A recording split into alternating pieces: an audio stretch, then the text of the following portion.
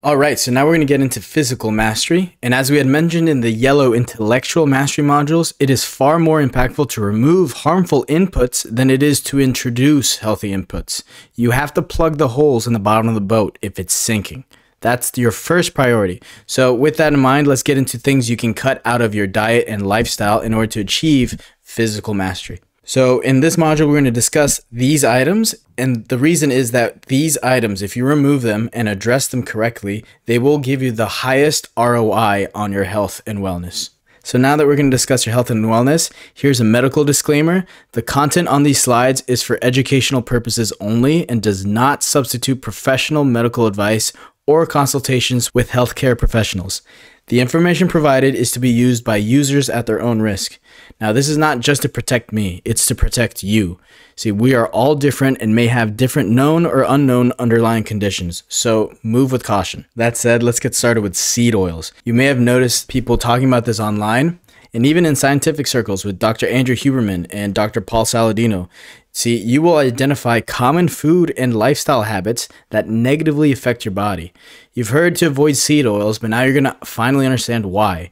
You will also learn a powerful heavy metal detox later on. So, what are seed oils? Seed oils are oils that are derived from seeds, and the most common ones are canola oil, soybean oil, and sunflower seed oil. And a lot of people use these as cooking oils, which is very dangerous because they are full of omega 6 fatty acids, which our body, and this is very common with a bunch of different compounds, there is a natural and preferred ratio between two compounds and two chemicals. So, for instance, for fats, you want to have a good ratio between your omega 3s and your omega 6s. You want more omega 3s.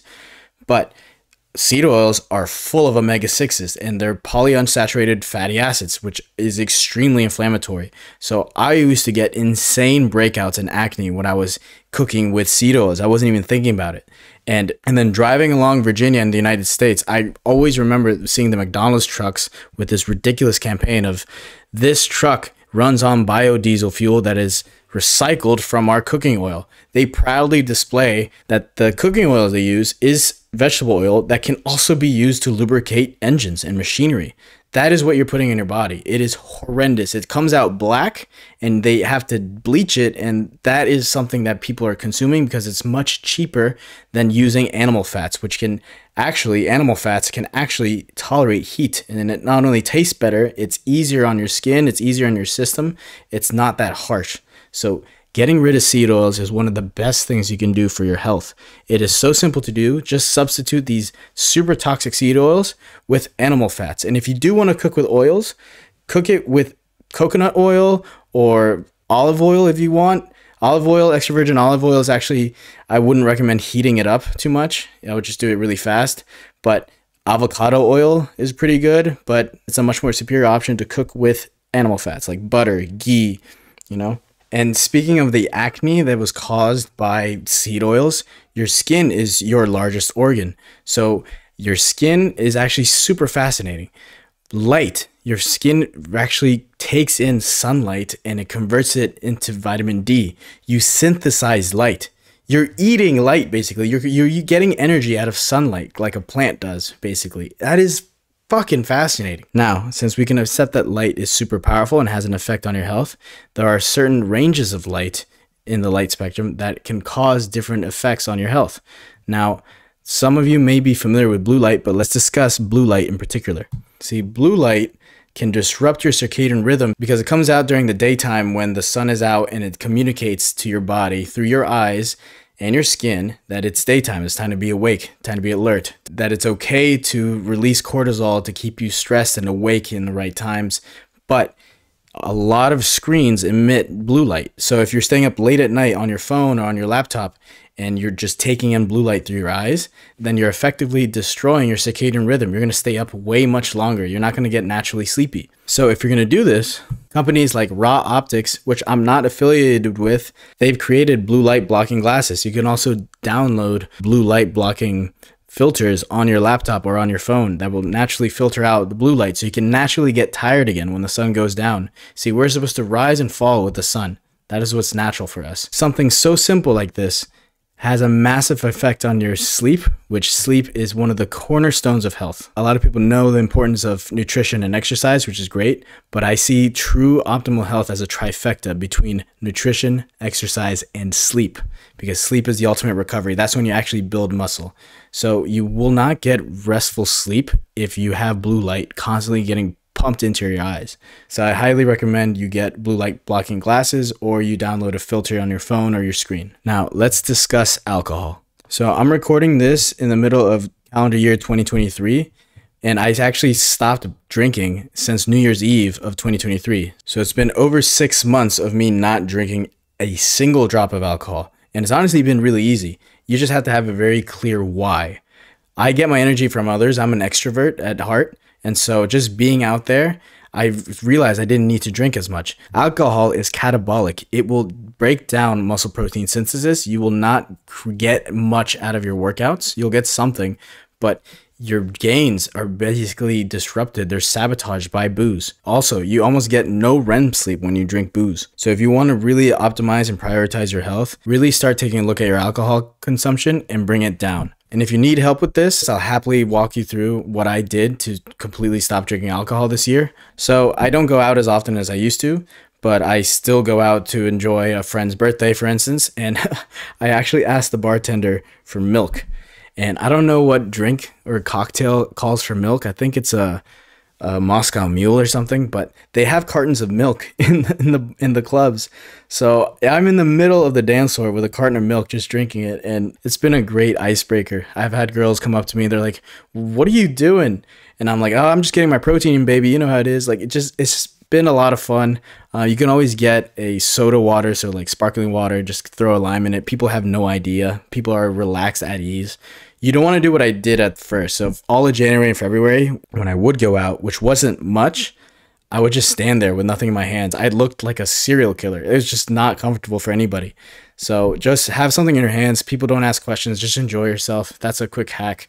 But I can definitely give you more tips on this if if you want. Now let's talk about the heavy metal detox because if you're consuming a lot of fish, for instance, or if you're just uh, living in a very industrial part of the city, for example, you highly likely have a lot of heavy metals in your blood in your system, and that leads to a less optimal functionality in your body. Your hormones and everything is a little bit out of whack. Heavy metals include things like manganese, lead, arsenic, chromium, and copper. It's important to know that some of these heavy metals are essential for healthy biochemical function. However, metals such as lead and chromium and arsenic can be toxic when ingested in small or large quantities. One of the biggest sources of these heavy metals happen to be large fish like swordfish and tuna because our oceans in the last few centuries have been completely contaminated by heavy metals.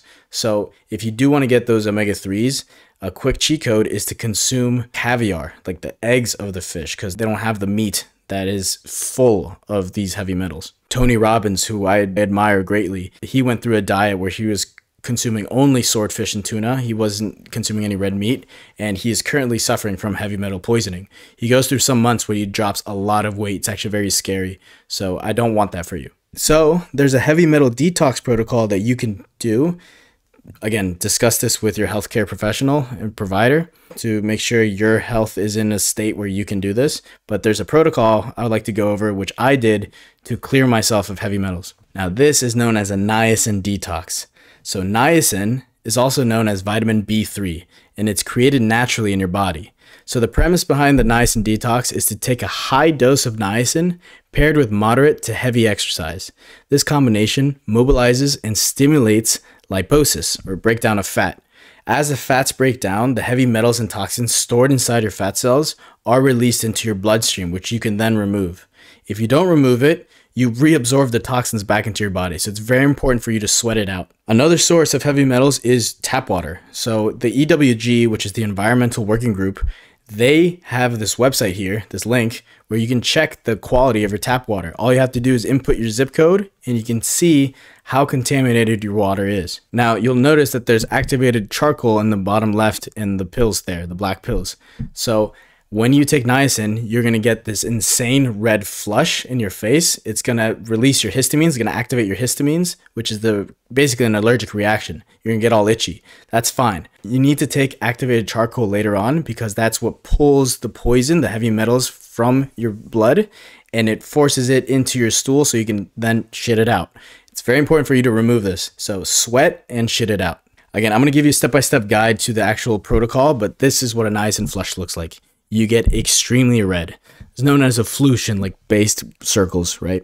Again, it's gonna release, it's gonna activate your histamines. It's gonna feel like an allergic reaction. So I'm not allergic to anything that I'm aware of, but I get extremely red and I get the exact same reaction someone would if they were taking something they're allergic to.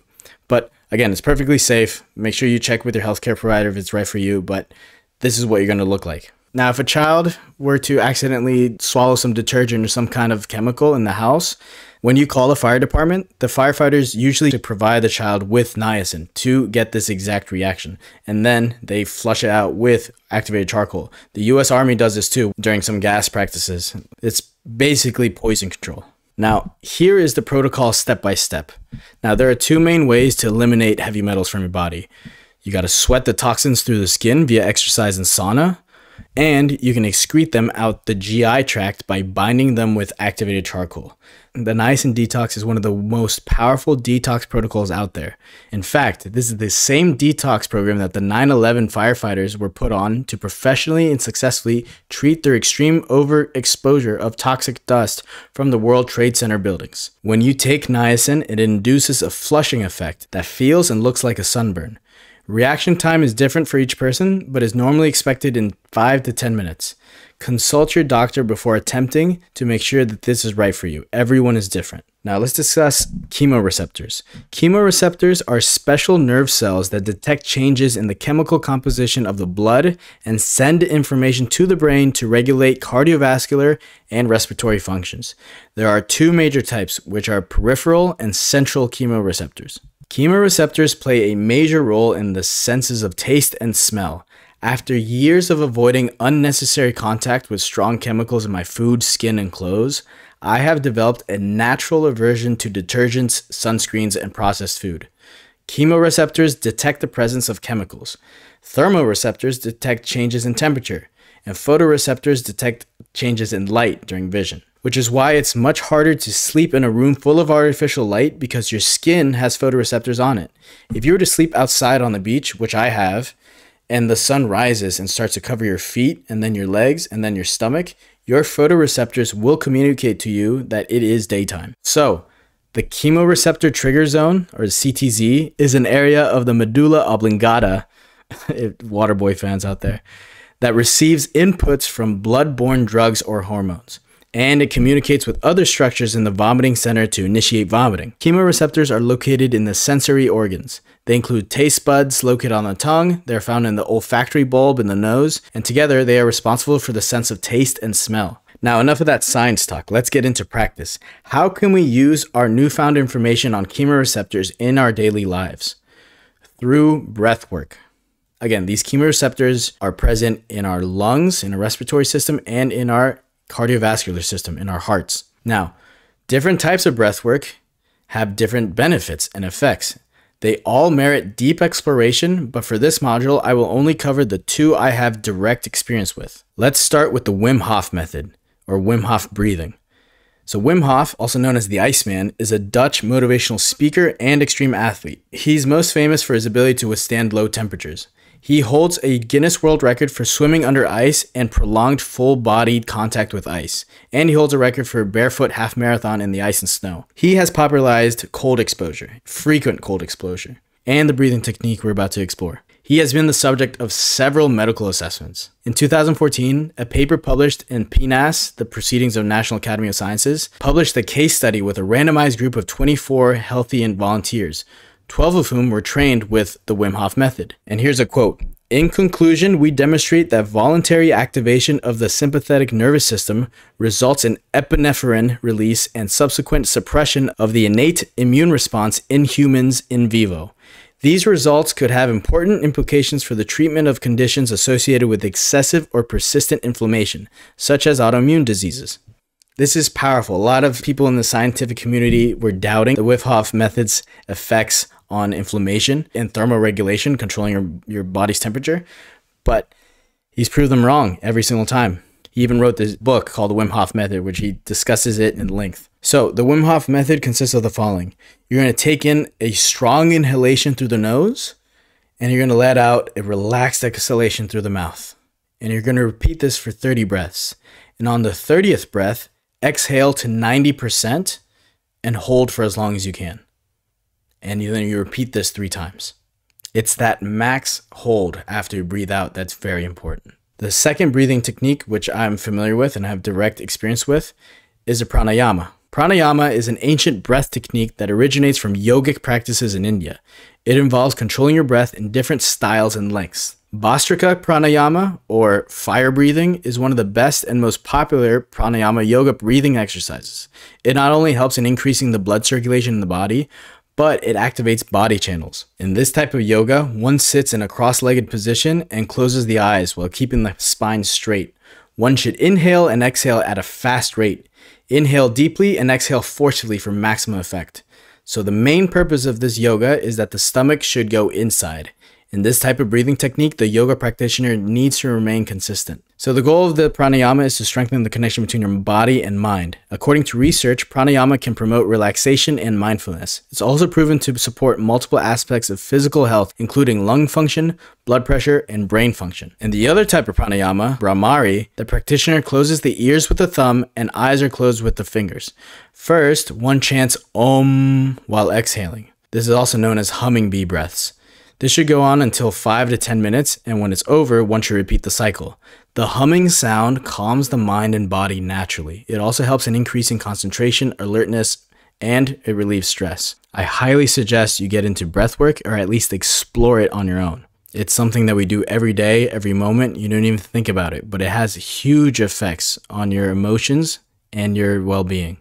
Now, as we discuss things to cut out and remove from our diets and lifestyles, there needs to be an emphasis on the difference between food and products. Again, it's more impactful to remove harmful things than adding good things, so let's start with the products. If you cannot find it in nature, it is not natural. I'm not trying to be a fun sucker. I'm not the type of person to just call attention to bad things without offering potential solutions. And each of these items has a healthier whole food alternative, which we'll get to later. But if your grandma didn't have access to it, have caution. And if you don't know what an ingredient is, avoid it. So here we have examples of products. You have Frito Lay's, you have Nutella, you have pizza, and you have Coca Cola. Now I'm going to offer the whole food healthy alternatives to these, but I just needed you to see the difference. These are products. This is not food. This is food, and these are the healthy whole food alternatives. So instead of Frito Lay's, you have potatoes, which is the main ingredient. You want potatoes? Just get potatoes, boil it, mash it up. Those are mashed potatoes. That is much healthier for you. And instead of Nutella, how about you get raw chocolate, real chocolate with no chemicals in it? In fact, if you want to support my good friends at Riversea, they have amazing chocolate from all over the world, mainly based out of Brazil. And instead of pizza, how about you get some goat cheese or Gouda cheese and enjoy it with figs or a fig jam, you know? And instead of Coca Cola, you want to get your electrolytes in, you want something a bit tastier than just water. How about some coconut water? Like, this is single ingredient stuff, guys, and it's natural whole foods. And I really hope you see the difference here between this and what you saw before. What you saw before were products. And just a quick tip when it comes to buying food in the supermarket, just stick to the perimeter of the supermarket. Don't get lost in the maze on the inside because inside are full of products. On the outside, that's where the food tends to be. That's where your butcher is and the meats, that's where they are. Your eggs, you know? And that's where the produce section is. So your vegetables and fruits, like just stick to the outside. Now, speaking of vegetables, let's discuss the whole rise in the carnivore and animal based diets. Uh, now, Dr. Paul Saladino, he discusses this at length. His background is that he's a doctor in medicine, right? But he also suffered from a lot of autoimmune diseases, one of which was eczema. And he wanted to treat himself basically, and he wanted to help others. So he started experimenting with his food. And something he discovered, and he talks about in his book, The Carnivore Code, and on his podcast, The Fundamental Health Podcast, is that plants, they have a tricky way to protect themselves. See, unlike prey animals, Plants do not have horns to defend themselves or legs to run away. They defend themselves from predators using defense chemicals. Some people who have more gut sensitivity or food allergies than others know this better than anyone. So, I personally don't have any food allergies or food sensitivities, but after reading his book and learning about this, I've started to avoid cruciferous vegetables like broccoli and cauliflower and food that has caused problems to people who have food sensitivities because I really don't need to put my body through this.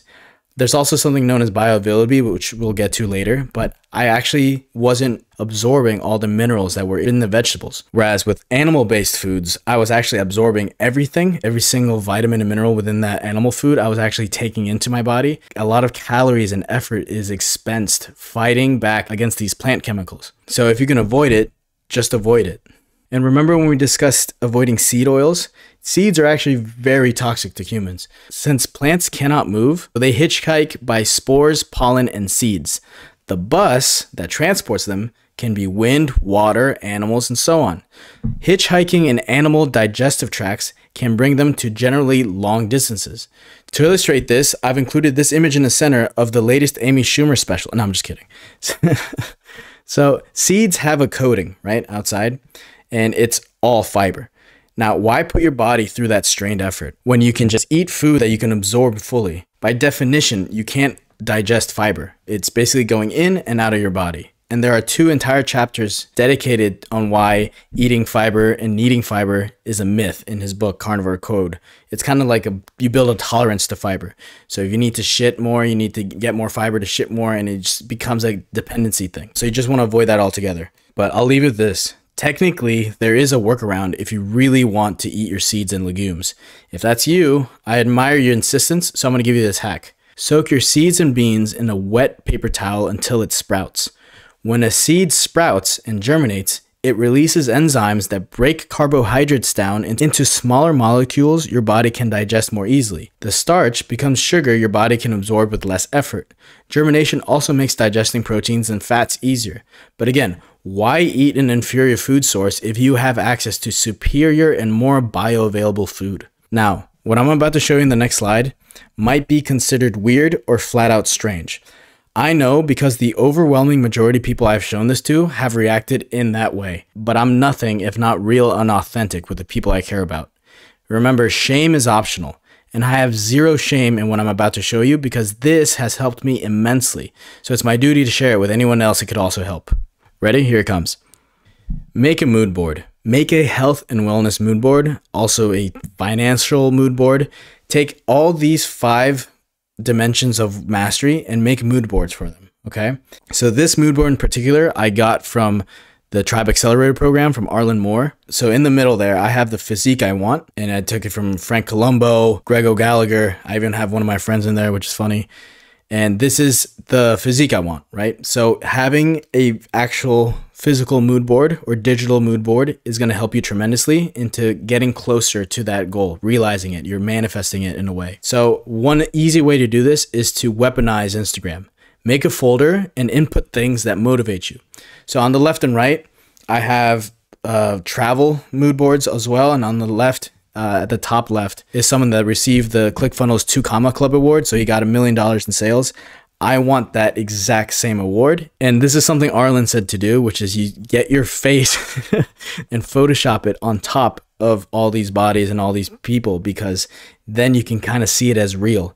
And the universe does not like that imbalance between what you are visualizing and what you are wanting to manifest and the current reality. There's like an imbalance there. So it helps you, it, it conspires to get you there. I've seen this happen in real time. This is an absolutely insanely powerful thing you can do.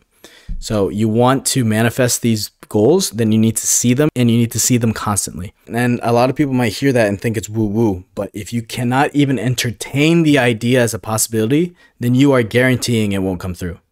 See, I know I will own and drive a supercar. I just know it. I felt it, I've seen it, I've visualized it, I know it's gonna happen. So if you take one of your friends, for instance, and you say, Hey, do you see yourself driving a Lambo? Some of them will literally just laugh in your face. They will just it's completely out of their reality. They never even considered it. They're not even entertaining it. That person will 100% never drive a supercar. But the kid who can entertain the idea and let it in is much more likely to get the supercar. Do you understand? There's a subtlety there, but it's huge. So this is, concept is explored more in a book called Psycho-Cybernetics. So you can actually create your reality, but the first step is to actually entertain it as possible. So the same thing goes with your physique. And that whole mood board is to just plant seeds and shatter walls of self-limiting beliefs that tell you that it's impossible. Of course it's possible. And we're going to cover psycho-cybernetics a little bit more in the spiritual modules, but it's a powerful, powerful idea. Now, we can't go through a cutting module in the physique mastery without discussing fasting. Now, I've been fasting intermittently for about four years now, and one of the biggest benefits I've noticed is that I have complete control over my hunger. So, usually, your body has these rises in ghrelin, which is the hunger hormone, around the times of day where you usually eat. Now, I've cut out breakfast completely for four years now. I don't eat breakfast, I just eat lunch and I eat dinner and I eat lunch and dinner, those two foods, within an eight hour window. And so I fast for 16 hours a day, sometimes 18 hours, but that tight window. So I usually eat from 12 to 8 or 12 to 6. And that's just how I've lived my life. So what happens when you're fasting for that long is that you go through a process known as autophagy. Auto is self, phagy is eat. So you're eating yourself. But I'm also building muscle. How is that possible? Well, autophagy is you're eating the garbage. You're eating the, the things that are broken. You're eating malignant cells, deformed cells, fat, thing that are of no use to your body. Your body, now that it's not digesting anything, it can focus on cleaning up your body and things that doesn't need. And so it can focus and finally do that. So here's a quick timeline of what happens in your body when you fast up to 54 hours. Now, the longest fast I've ever done is just over three days. I did an 80 hour fast. So I actually documented it in my stories. Here's a screenshot from day two and I was peeing on ketone strips. So I could see the ketones being released in my blood from my liver, and that has a slew of benefits too. I highly suggest you explore fasting. Now, I was water fasting, so I was drinking water with salt in it, so just still zero calories. But I did just over three days. I did 80 hours, and I highly suggest it as a good restart. Now, you don't want to make this an habitual thing, like doing it more than six times a year, like that's a lot but it's a good reset for your system. Now, intermittent fasting, where you're fasting for 16, 18 hours a day, that's something you do every single day. In fact, that's something we all used to do as humans every single day. Now, some people are under the false belief that if they don't eat every single day, they will starve. I'm going to tell you the story of a young 27 year old Scottish man in the 1960s just to break that belief if you still hold it. Of course, this is an extreme example, but it goes to serve that none of you are really starving. So all of us are holding fat in our bodies, right? It's like a camel's hump. It's just there for emergencies.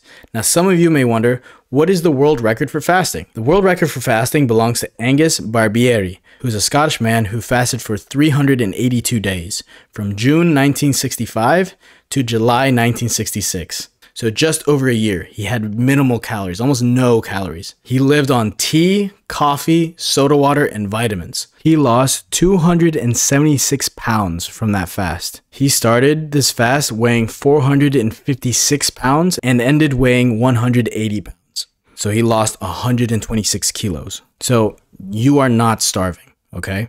A lot of you are carrying a lot of calories around you. I personally suggest everyone to explore fasting, but of course you should consult a healthcare professional beforehand. Now, there's other types of fast you should do. You should fast from alcohol, explore that. Fast from legumes like peas and beans. Fast from plastic, especially plastic water bottles and plastic that wraps around your food, that leaches into your food. And even your skin. A lot of people wear a lot of polyester and polyester underwear, which is unbelievable because you're leaching plastic, microplastics into your skin, which is insane. Also, we want to fast from heavy metals and use water filters if you can, and fast from blue light after dark. Like use a red light filter and blue light blocking glasses.